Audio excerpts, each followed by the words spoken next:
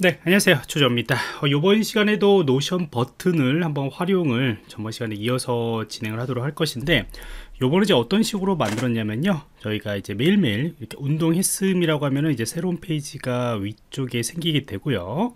그 다음에 이제 영어 했음 그러면은 이제 달성 그 다음에 독서 했음이라고 하면은 달성이 되면서 이제 완료 상태로 이제 바뀌는 거 이렇게 좀 제작을 했습니다. 물론 이거보다 이제 더 좋은 이런 기능들을 나중에 후에 추가하신다면은 어, 좋을 것 같고요. 저는 이런 식으로 우선 했어요. 그 다음 후에는 이제 소감 기록 같은 경우에는 페이지 형식으로 만들었기 때문에 나중에 여기다가 여러분들이 하루하루 일기를 하듯이 음, 이렇게 작성을 하면은 좋을 것 같습니다. 자 그러면 이걸 어떻게 이제 만들었는지 하나 좀 살펴보도록 할게요. 아래서 우리가 데이터베이스를 하나 만들도록 할 것이고요 그 다음에 어, 새로운 데이터베이스를 추가를 해야겠죠. 자 그러면은 추가를 하고요. 그 다음에 이제 위에서 한 것처럼 이제 목표 달성 예, 달성 여부 예, 두 번째라고 입력을 하도록 하겠습니다. 자 그 다음에 제가 이제 소관 기록이라고 하는 부분들은 이제 이쪽 들 이제 기본적으로 여러분들이 이제 페이지 작성할 수 있는 부분들 요것을 이제 사용한 겁니다. 자 그래서 여기서 보시면은 생성 일시 저희가 추가를 해야겠죠? 그래서 아래쪽에 보시면은 이제 생성 일시 이렇게 추가를 하고 요거는 이제 앞쪽으로 이렇게 당기도록 할 것이고요.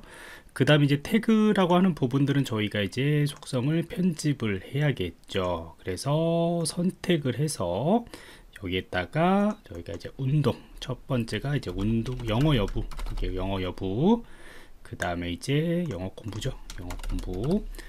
그 다음에 옵션을 추가해서 달성 그 다음에 미달성 이런 식으로 해가지고 하나하나 추가를 했습니다. 자 그래서 여러분들도 이게 영어 공부 그 다음에 이제 뭐 독서 목표 이런 식으로 하나씩 추가를 해주시면 돼요. 자 그래서 이렇게 세 개를 추가를 했습니다. 위하고는 조금 이름을 좀 달리 했지만은 그래도 이런 식으로 어, 여러분들이 추가하시면 되고요 그 다음에 여기 같은 경우는 이제 소감 기록이라고 이렇게 하도록 하겠습니다. 왜냐면 기본적으로 만든 페이지 같은 경우에는 저희가 요거 같은 경우는 지울 수도 없고 어차피 속성도 저희가 이제 변경을 할 수가 없기 때문에 저희가 이렇게 그냥 남겨놓을까 하지만은 우리가 일기를 쓰듯이 매일매일 남기시는 것도 괜찮죠. 자 그럼 이렇게 다 만들고 난 뒤에 이제 여러분들이 요 달성 여부에 따라서 완료 상태를 만들어야겠죠. 그래서 여기도 이제 완료 상태 같은 경우는 수식으로 제가 이제 만들었습니다. 그래서 어 이쪽에 아래쪽에 보시면 이제 수식 선택을 하시고요. 그 다음에 이제 달성 여부죠. 이렇게 제목을 정했고요. 이 수식에다가 이제 어떤 거를 넣냐면은 지금 저는 이런 식으로 넣었거든요. 유해같이 나중에 여러분들이 이제 복잡하게 만들 수도 있어요 예전에 제가 노션 강의를 할때 이렇게 달성률에 따라서 이렇게 그림들을 변화시키는 것 진행률을 하는 것 방법들을 좀 설명을 드렸습니다. 물론 이제 노션에서도 이미 그런 상태 정보들을 나타내는 것이 나중에 이제 추가가 됐죠. 그래서 요번 같은 경우는 이런 식으로 이제 만든 거예요 그냥요 그래서 운동 목표가 달성이고 그 다음에 영어 목표도 달성이고 독서 목표도 달성이면은 그냥 100이고 그렇지 않으면 0이다. 여기도 이제 이름이 좀 달라졌죠 자 그래서 요것을 여기에 따라서 저희가 수식을 네, 수식을 선택을 하고 다음 편집을 눌러서 여기다가 이렇게 추가를 하도록 하겠습니다. 이게 좀 다르다는 거죠. 그래서 독서 여부 그 다음에 여기는 저희가 운동 여부 그 다음에 아래쪽에는 저희가 어, 영어 공부. 순서가 좀 달리게 됐네요. 그렇죠? 영어 공부가 제일 앞에 아무튼 여러분들 이 의미 아시겠죠? 자 그래서 완료를 하도록 하겠습니다 자, 그 다음에 이제 막대로 선택을 했고요. 그 다음에 여기에서는 번호를 표시하지 않았습니다. 왜 그러냐면 이게 다 성공이 되면은 막대가 이제 꽉 차는 거고, 그렇지 않으면은 이제 막대가 움직이지 않는 거고, 요것만 이제 표시를 하기 위한 목적이다. 라고 보시면 됩니다. 자 그러면 이것도 달성 여부를 앞쪽에다가 이렇게 넣도록 할 것이고요 자 그러면 이제 뼈대는 다 만들었습니다 여기다가 이제 버튼을 여러분들이 이제 추가를 해서 얘를 이제 편집을 하게 되는 거죠 자 그러면 버튼을 또 추가를 하도록 하겠습니다 자 그래서 버튼 이렇게 추가를 하고요.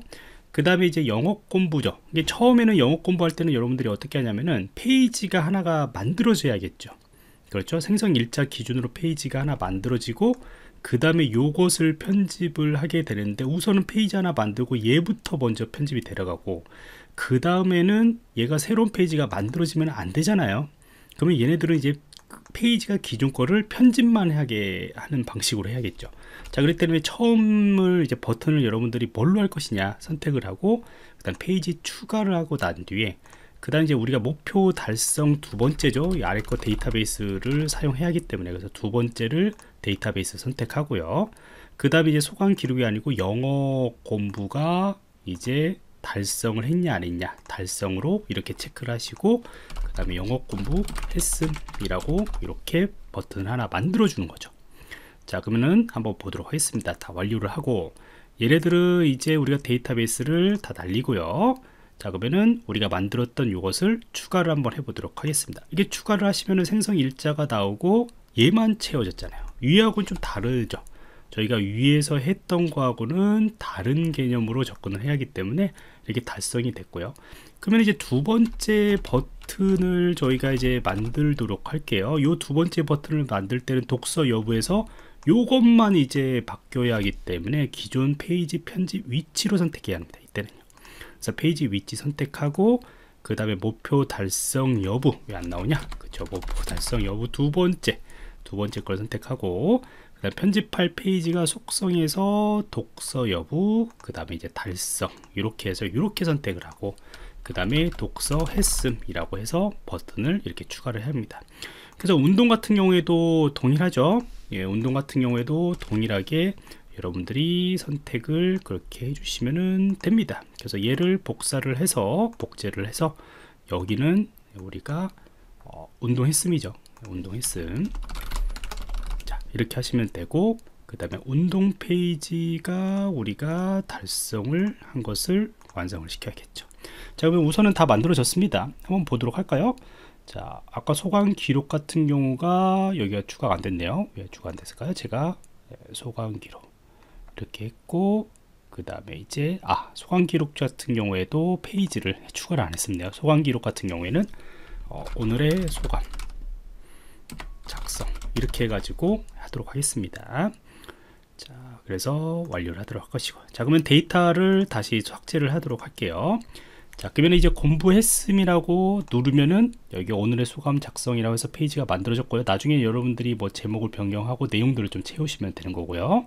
그 다음에 이제 독서했음을 누르면은 독서 달성이 추가됐고 일단 운동했음을 누르시면은 모두 다 달성이 되면 달성 여부가 이렇게 채워지는 것을 볼 수가 있습니다. 그 다음에 그 아래다가는 이제 영권 못했음, 독서 못했음, 운동 못했음, 그러면 미달성으로 이제 채워지겠죠. 그러면 그 달성 여부에 따라서 요 그래프도 이제 변하겠죠. 자, 그래서 이렇게까지 우선은 제가 좀 진행을 했습니다. 아마 더 좋은 아이디어들이 많을 거라고 생각을 합니다. 그런 아이디어들을 뭐 체크박스로 만드셔도 되고, 아무튼 이런 아이디어들을 여러분들이 한번 적용을 해 보셔서 이렇게 어, 하루하루 예, 달성하는 목표 달성하는 그런 데이터베이스를 좀 이렇게 자동화를 하시면 좋을 것 같습니다.